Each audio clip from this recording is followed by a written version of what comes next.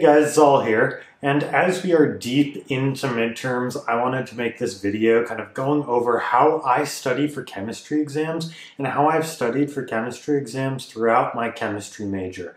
Now, my method for studying for exams is different from a lot of other students I know, so I kind of wanted to share that with you because I know it served me really well and it's a really cool technique and it might help you guys out as you're trying to get through your midterms for all your chemistry exams. So with that, let's hop right into it. Now, my first step for studying for my chemistry exams actually starts in the lecture and it may seem a bit counterintuitive but bear with me. And this step is not taking notes in my lectures. Now, there is the caveat here where if your lectures aren't recorded by your professor, don't do this because you will just not have notes.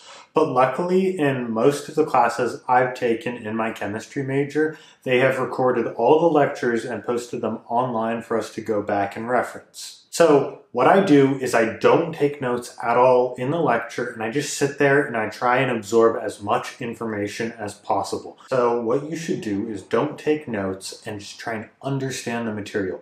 Put in all your focus and understanding what the professor is saying, working through problems and really getting a good foundation and grasp of concepts without diverting your attention to trying to take notes at the same time. Now, my next step, which you do after you've gone through the lectures and like just listen to them without taking notes in class, is some point before the exam, I go through and I re-watch all the recorded lectures that have been posted online, except this time I take notes on them. This is also super helpful because as they're recorded now, I can listen to parts that I already sort of understand at a higher speed, like I can put it on 1.25 or 1.5 times speed. And also I can pause if I need extra time to take notes on it.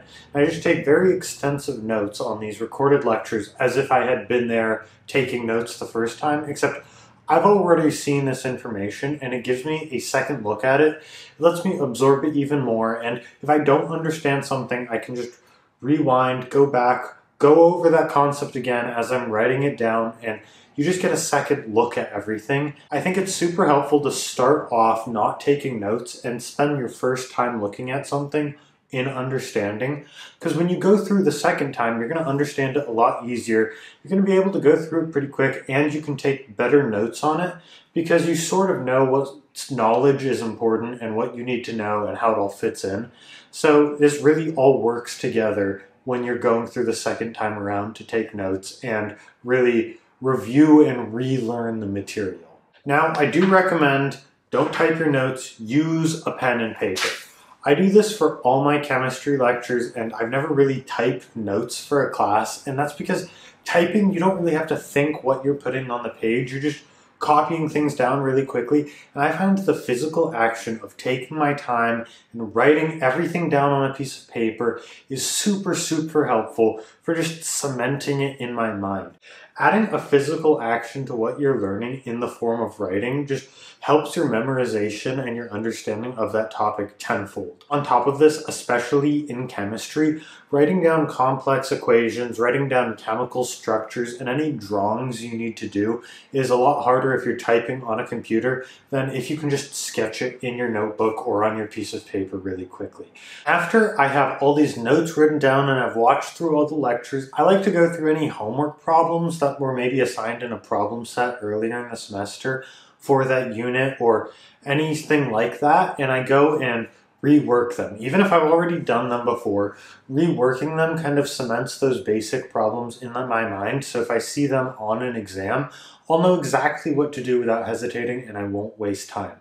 After I've done these homework problems and stuff that was assigned earlier in the semester that I had already worked through, I go through and look for any assigned practice problems that are like extra supplemental problems that professors like to assign in the back of the book. These problems I tend to find are a bit more difficult than some of the homework problems and make you think differently because they're not something the professor made to like fit right into the material and they're more abstract and they're broader in the subject area that you're learning because they're from the textbook. So once I've reached this point where I've gone through all the homework, all the practice problems, I've written down all the lectures, this is the point where if you have any questions about any of this stuff, you go and you ask your professors.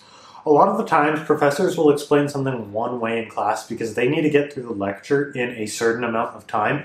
And even if they have the ability to show you different examples or explain it in a completely different way, they won't do it purely because of time. So I highly recommend going to a professor, or even if there's a student in the class who seems to be doing really well in understanding the material, you can go work with other students in the class and they can help you explain things. This is also a great time to point out that study groups are a great idea, and a lot of the time, if you get into a study group and you go and teach the material to other students, it means you know the material better yourself. Because to teach the material, you have to know the material impeccably. And it just makes sure you have filled in all the gaps in your knowledge of the subject. Even if you don't have a study group or someone to go and try and explain this material to, you can sit there and talk to a stuffed animal and explain material to an inanimate object and just the act of you being able to explain what you're learning to someone is like super helpful in learning the material yourself. At this point, you always get, well, at least I always get practice exams in my chemistry classes. If not, I just go over my notes and problem sets again, but if so, I always save the practice problem for the last thing I do, maybe a day or two before the actual exam. And that's because I feel like once I've studied that much, that's going to be the level I go into the actual exam. And I want the practice exam to be the best analog for the actual exam that I have. So I'm not going to go do the practice exam before I've studied for the actual exam because that's not how I'm going to be taking the exam. So after I've done all my studying, I take the practice exam, I see how well I do on it, and that's the gauge eh, for like how well I do on the actual exam. And I can go through and fill in my gaps in my knowledge based off what I did on the practice exam wrong. At this point, if you've gone through all your notes, watched the lectures and all, it's usually just a couple of problems that you get wrong on the practice exam, and those are the trickier problems. And once you go through and you understand what you did wrong on the practice exam, you can fill in those gaps in your knowledge, understand how they kind of confused you or tricked you, and then just go over your notes more and go take the exam. A lot of the time, these practice exams have similar problems to the actual exam, and these tricky problems that you find on the practice exam, the same stuff comes up on the real exam, but you'll have been prepared because you took that and you went through the effort of understanding what you did wrong and why that is the way it is. Once you've done all this, you should have a really good foundation to go into your exams, and it really helps you truly learn and memorize and understand concepts for the material. I hope this study method was helpful for you. It's honestly been super helpful for me, and it's my preferred study method even outside STEM classes, just going down and rewriting notes. It's a great method. I find that just the act of writing helps me learn things so much better. So if you liked the video, if it gave you some ideas on how to study, or maybe helps you study better, be sure to like, comment, and subscribe, and I'll see you guys next time.